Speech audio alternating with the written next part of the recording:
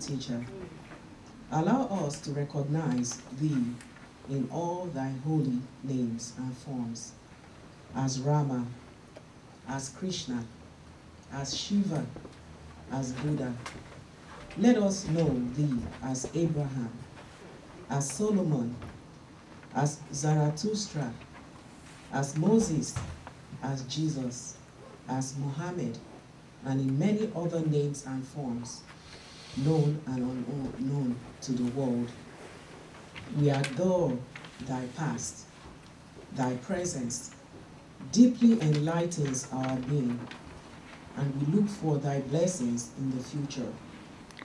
O Messenger, Christ, Nabi, the Rasul of God, thou whose heart constantly reaches upward, thou comest on earth with the message, as a dove from above, when Dharma decayeth, and speakest the word that is put into thy mouth, as the light filleth the crescent moon.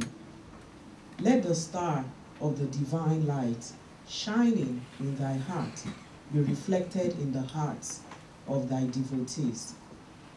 May the message of God reach far and wide, illuminating and making the whole humanity as one single family in the parenthood of God.